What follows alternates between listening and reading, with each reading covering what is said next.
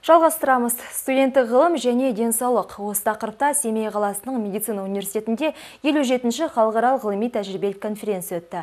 Ғылыми шара Қазақстан Республикасы еңбек сіңірген қайраткері ұлттық ғылым академиясының академигі, биология ғылымдарының докторы профессор Төлеген Қазезұлы Раисов қарналды. Оған Ресей, Беларусь, Украина, Башқұрстан және еліміздегі алты медициналық жоғарғы оқу орындарының студенттері қатысты.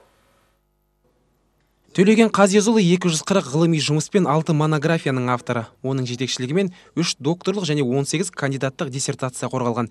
Конференцияның пленарлық отырысында ғалымның еңбек жолы мен биология ғылымына қосқан үлесі айтылды. Шараға қатысушылар медицина саласының 11 бағыты бойынша ғылыми зерттеу жұмыстарын ұсынып баяндамалар оқыды. Қазір тек қана мына профессорлардан емес, жай практикалық дәрігерлерден де ғылыммен айналысуға сұраныс бар мысалы жетістіктерді туралы айтатын болсақ былтырғы жылдың қорытындысы бойынша мына алты медуниверситетінің жанында біздің студенттер ғылыми жұмыстары бірінші орын алды. Бұл біздің университеттің жетістіктерінің бірі үш тілде сабақ беру. Соның арқасы ғой деп ойлаймын. Жалпы конференцияға 400-ден астам баяндама қабылданған. Олар алдағы уақытта жеке топтама болып басылып шығады.